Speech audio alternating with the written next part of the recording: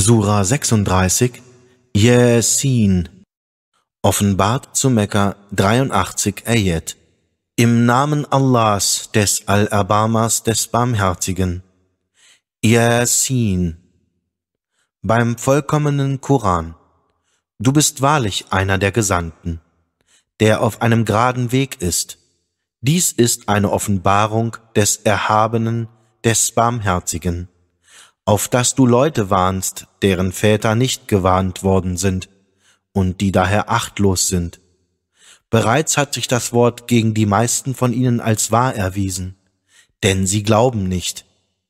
Um ihren Hals haben wir Fesseln gelegt, die bis an das Kinn reichen, so dass ihr Haupt hochgezwängt ist. Und wir haben vor ihnen einen Wall errichtet und ebenso hinter ihnen einen Wall errichtet und wir haben sie verhüllt, so dass sie nicht sehen können. Und ihnen ist es gleich, ob du sie warnst oder ob du sie nicht warnst. Sie werden nicht glauben. Du vermagst nur den zu warnen, der die Ermahnung befolgt und den Al-Abama im Verborgenen fürchtet. Gib ihm darum die frohe Botschaft von Vergebung und einem ehrenvollen Lohn. Wahrlich, wir sind es, die die Toten beleben, und wir schreiben das auf, was sie begehen zugleich mit dem, was sie zurücklassen, und alle Dinge haben wir in einem deutlichen Buche verzeichnet. Und präge ihnen das Gleichnis von den Leuten der Stadt, als die Abgesandten zu ihr kamen, als wir zwei zu ihnen schickten und sie von ihnen für Lügner gehalten wurden. Da stärkten wir sie durch einen Dritten, und sie sagten, wir sind zu euch entsandt worden. Jene sagten, ihr seid nur Menschen wie wir, und der Al-Abama hat nichts herabgesandt. Ihr sprecht nichts als Lügen. Sie sagten, unser Herr weiß, dass wir wahrlich Abgesandte zu euch sind, und uns obliegt nur die klare Verkündigung. Sie sagten, wir ahnen Böses von euch, wenn ihr davon nicht ablasst, so werden wir euch gewiss steinigen, und euch wird sicher unsere schmerzliche Strafe treffen. Sie sagten, euer Unheil liegt bei euch selbst. Liegt es daran, dass ihr ermahnt werdet? Nein, ihr seid Leute, die das Maß überschreiten. Und es kam vom entferntesten Teil der Stadt ein Mann angelaufen. Er sagte, O meine Leute, folgt den Gesandten, folgt denen, die keinen Lohn von euch fordern und die recht geleitet sind. Und warum sollte ich nicht dem dienen, der mich erschaffen hat und zu dem ihr zurückgebracht werdet? Soll ich etwa andere außer ihm zu Göttern nehmen? Wenn der Al-Abama mir ein Leid zufügen will, so wird ihre Fürsprache mir nichts nützen, noch können sie mich retten. Dann befände ich mich wahrlich in einem offenkundigen Irrtum. Ich glaube an euren Herrn, darum hört mich an. Da wurde zu ihm gesprochen, gehe in das Paradies ein. Er sagte, Oh, wenn doch meine Leute wüssten, wie mein Herr mir vergeben und mich zu einem der Geehrten gemacht hat. Und nach ihm sandten wir gegen seine Leute kein Herr vom Himmel herab, noch pflegten wir eins zu senden. Es war nur ein einziger Schrei, und siehe, sie lagen reglos da. Wehe den Menschen, kein Gesandter kommt zu ihnen, den sie nicht verspotteten. Haben sie nicht gesehen, wie viele Geschlechter wir schon vor ihnen vernichtet haben? und dass sie nicht zu ihnen zurückkehren? Jedoch sie alle, allesamt versammelt, werden sicher vor uns gebracht werden. Und ein Zeichen ist ihnen die tote Erde. Wir beleben sie und bringen aus ihr Korn hervor, von dem sie essen. Und wir haben auf ihr Gärten mit Dattelpalmen und Beeren angelegt, und wir ließen Quellen aus ihr entspringen, damit sie von ihren Früchten essen, und ihre Hände schufen sie nicht. Wollen sie da nicht dankbar sein? Preis sei ihm, der die Arten alle paarweise erschaffen hat, von dem, was die Erde sprießen lässt, und von ihnen selber, und von dem, was sie nicht kennen.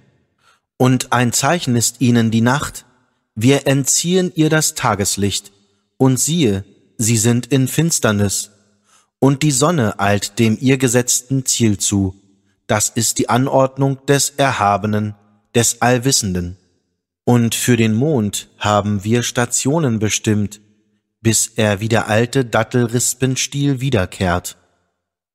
Weder hat die Sonne den Mond einzuholen, noch eilt die Nacht dem Tage voraus, und alle schweben auf einer Umlaufbahn. Und ein Zeichen ist es ihnen, dass wir ihre Nachkommenschaft in dem beladenen Schiff trugen. Und wir schufen ihnen etwas von gleicher Art, worauf sie fahren. Und wenn wir wollten, so könnten wir sie ertrinken lassen, dann würden sie weder Helfer haben, noch könnten sie gerettet werden, außer durch unsere Barmherzigkeit und zu einem Niesbrauch auf gewisse Zeit.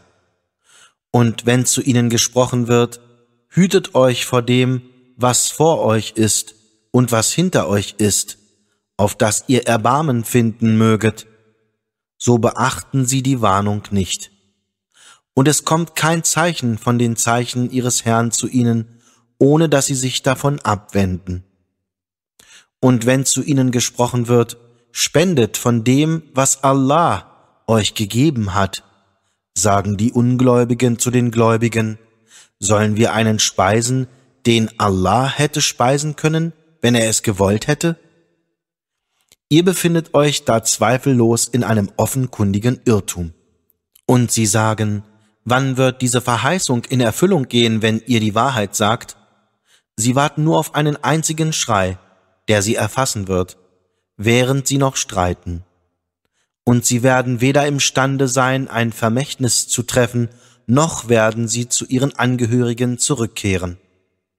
Und in den Sur wird gestoßen, und siehe, sie eilen aus ihren Gräbern zu ihrem Herrn hervor. Sie werden sagen, O wehe uns, wer hat uns von unserer Liegestelle erweckt? Das ist es, was der Allerbarmer uns zu verheißen hatte.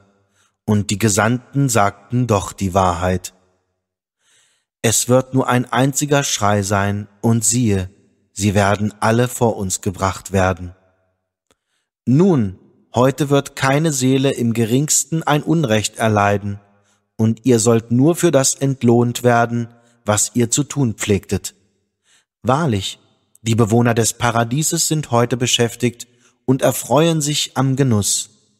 Sie und ihre Gattinnen liegen im Schatten auf Ruhebetten gestützt. Früchte werden sie darin haben, und sie werden bekommen, was immer sie auch begehren. Frieden, dies ist eine Botschaft von einem sich erbarmenden Herrn.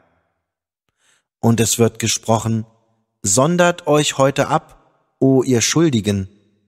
Habe ich euch, ihr Kinder Adams, nicht geboten, nicht Satan zu dienen, denn er ist euer offenkundiger Feind, sondern mir allein zu dienen. Das ist der gerade Weg.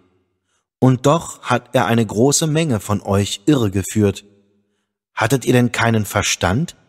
Das ist Jahannam, die euch angedroht wurde, brennt heute in ihr dafür, dass ihr ungläubig wart.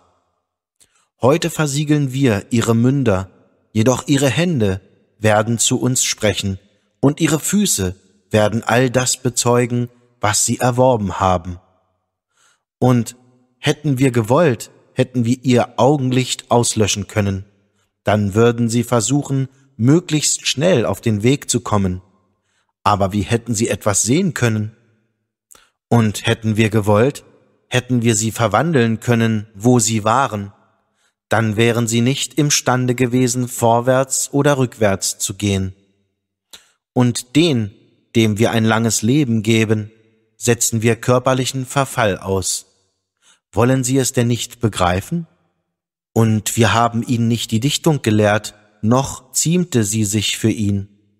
Dies ist nichts als eine Ermahnung und ein deutlicher Koran, auf dass er jeden warne, der am Leben ist und auf dass das Wort gegen die Ungläubigen in Erfüllung gehe.